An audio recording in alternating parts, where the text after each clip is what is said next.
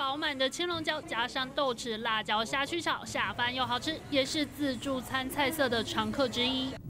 但就有民众朋文抱怨，自助餐选好菜去柜台结账，店员拿起夹子翻开青龙椒说：“你这里面有小鱼干，要另外加收五块钱。”原因竟然是小鱼干要算一道菜的钱。消费者抱怨：难道高丽菜炒红萝卜，红萝卜也要算钱吗？萝卜干炒蛋，萝卜干或蛋也要另外算钱吗？啊，这本来就是一个不太公开的产业嘛，就是这种方销售方法。那你你嫌贵你就不要买嘛。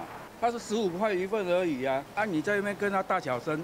这家平价自助餐炒青龙椒定价一瓶吃十块，但当天加了小鱼干下去炒，不管有没有夹到都要算十五块，爆出消费争议。老板私下表示，以后再也不放小鱼干下去炒了。是以菜色来计价，称重的话可能也会有误差的问题。一斤一。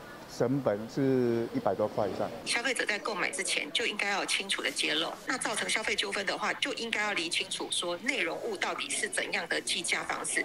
菜色标价不明，店员算账解释不清，引起庞大误会，还造成消费者观感差。消保官说，避免纠纷最好方式就是问清楚再加比较保险。记者杨生、彭宇飞，台中采访报道。